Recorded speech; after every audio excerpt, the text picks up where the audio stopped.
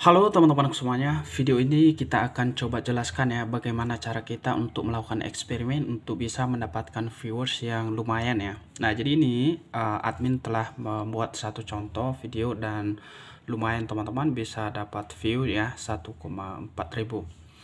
Nah jadi ini uh, kalau misalnya juga kita buat video di reels ini tentunya bisa kita dapat cuan ya dengan catatan harus sudah termonetisasi. Dan di sini juga di reelin teman-teman itu bisa dapat bintang ya. Dan di sini bisa kita aktifkan juga. Oke, pertama di sini admin akan coba jelaskan ya sedikit teman-teman uh, bagaimana ya cara kita supaya atau cara settingnya supaya video kita itu bisa mendapatkan views yang lumayan sedikit ya. Nah, jadi memang walaupun tidak langsung ya teman-teman ya, walaupun tidak langsung dapat dan akan tetapi uh, itu akan pasti berjalan ya. Kalau misalnya sesuai atau tepat ya untuk kita uh, setting. Dan di sini tentunya untuk uh, video reels ini diharapkan yang tentunya video-video yang ori dan yang berkualitas tinggi teman-teman ya. Nah pertama sekali ya kalau misalnya kita mau ngupload ya teman-teman ya coba kita setting terlebih dahulu. Dan di sini coba kita klik ya buat reel.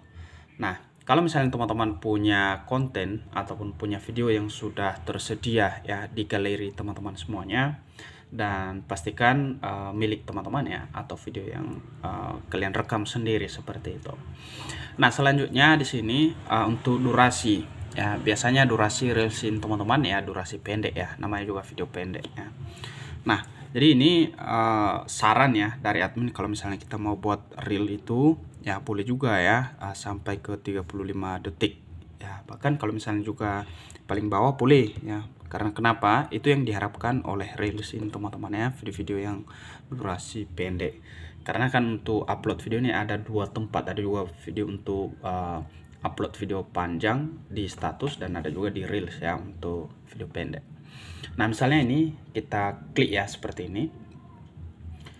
Nah contoh anggaplah uh, video teman-teman mungkin kalau misalnya teman-teman mau buat video tentang uh, resep ya misalnya atau cara masak misalnya atau bagian seni atau apa ya silahkan dipilih sesuai dengan topik ataupun sesuai dengan uh, isi video nantinya.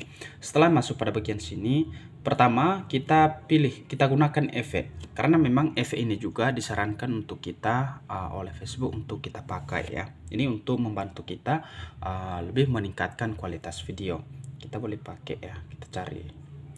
Nah kemudian setelah kita pilih efek berikutnya teman-teman kalau misalnya juga kalian mau edit ya boleh. Ya kita harus edit di bagian sini. Misalnya mungkin ada sesuatu yang uh, mau kita edit sini misalnya tambahkan ya. Kalau misalnya kita mau tambah foto misalnya ya. Nah boleh. Ya boleh kita tambah.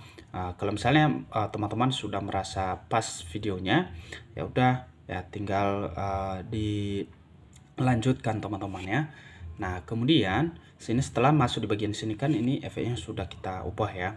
Nah, saran dari admin hindarilah ya menggunakan audio karena audio ini teman-teman sangat uh, ini ya sangat uh, apa namanya kalau misalnya dikit-dikit pun kita pakai itu ada pelanggaran ya sangat sensitif sekali ya. Nah, jadi uh, silakanlah dipakai audio ataupun sound yang ada di video kalian sebelumnya seperti itu. Kemudian kita klik selanjutnya seperti ini. Nah, langkah pertama untuk kita edit, teman-teman, kita manfaatkan ini fitur ini ya yang ada di sini.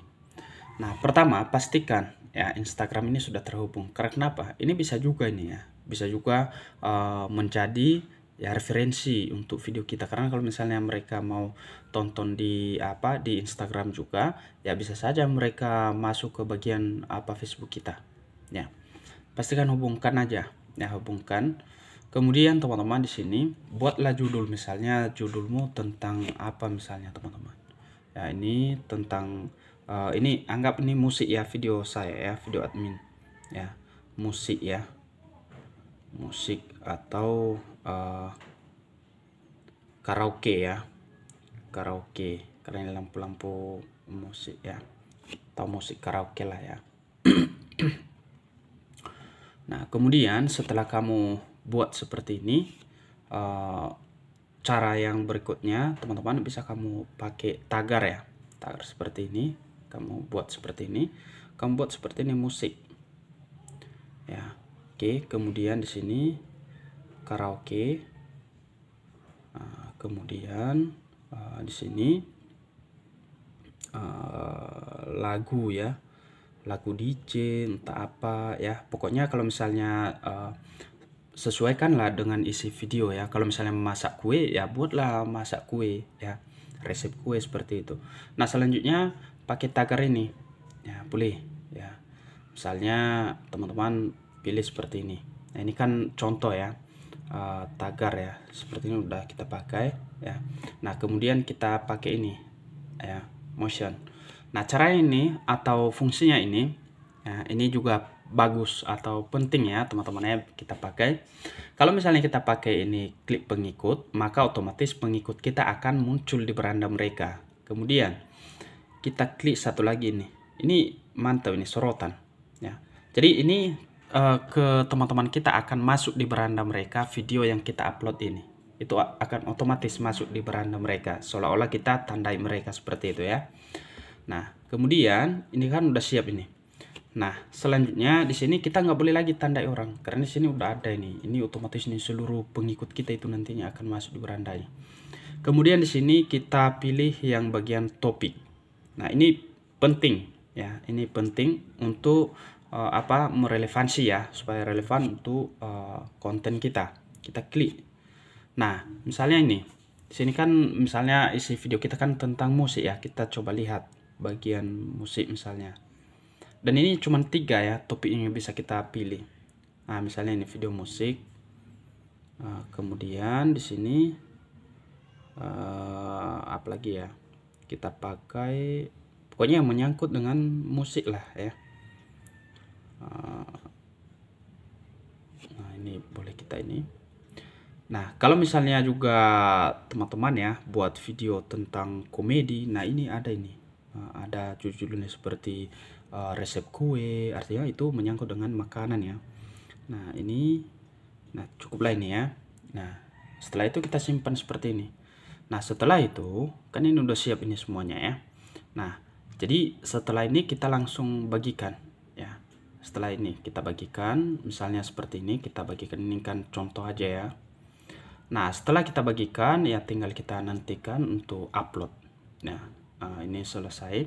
Dan kemudian kita pantau ya kinerja ataupun uh, apa teman-teman perkembangan untuk videonya. Nah, ini adalah salah satu eksperimen kita untuk bisa menjadi uh, ini ya supaya bisa kita uh, mendapatkan views yang lumayan bagus seperti itu ya. Nah jadi kira-kira begitu ya teman-teman ya. Semoga informasi ini bermanfaat Jangan lupa bagikan info ini ke teman kita yang lain. Sampai jumpa di video berikutnya.